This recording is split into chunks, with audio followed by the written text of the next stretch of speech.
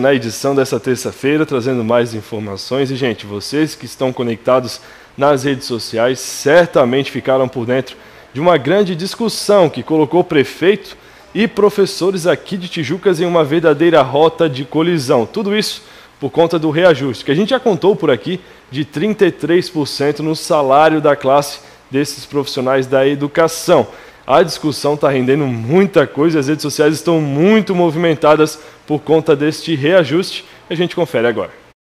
Professores de Tijucas continuam cobrando o reajuste salarial indicado pelo critério da lei do Fundeb, fixado em 33,23%. As reivindicações ganharam novos capítulos nos últimos dias e tomaram as redes sociais. O valor, até o momento, não foi alterado. Em nota de esclarecimento divulgada nesta segunda-feira, o município ressaltou que aguarda a regulamentação para a definição do novo piso solicitado pela classe. A nota ainda esclarece que o reajuste apresentado pelo executivo à Câmara dos Vereadores, fixado em 8%, visa amenizar os períodos anteriores sem reajuste. Hoje aposentado, o professor Nassier Abdala, com anos de atuação na educação municipal, publicou um vídeo no Facebook comentando sobre a postura do prefeito Eloy Mariano Rocha, que também pertence pertence à classe. Com a legenda traidor, o vídeo vem sendo amplamente compartilhado nas redes.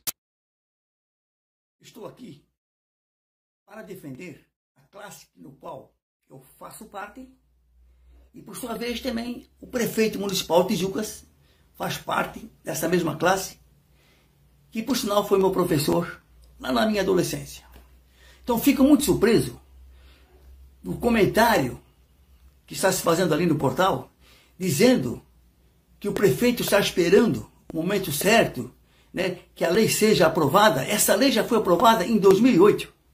Foi aprovada a lei do Fundeb. E depois, em 2015, 2016, foi aprovada então a lei do Fundeb, que mudou. Mas a situação é a mesma. Todo professor tem direito de receber o mínimo, que hoje ultrapassa R$ 3.800.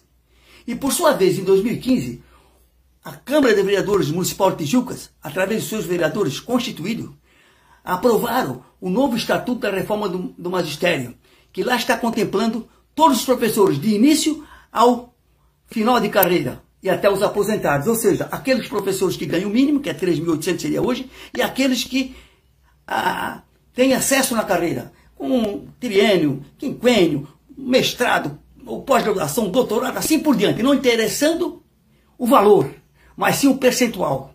E agora vejo, muito surpreso, o, prefe, o, o prefeito indo para um, um, meio de comunicação aqui da cidade, né, dizendo que está esperando aprovação e qual o critério para passar para nós. Eu fico muito surpreso, isso muito indignado. E ele é professor como eu sou também. Ele é professor como eu também sou e fui.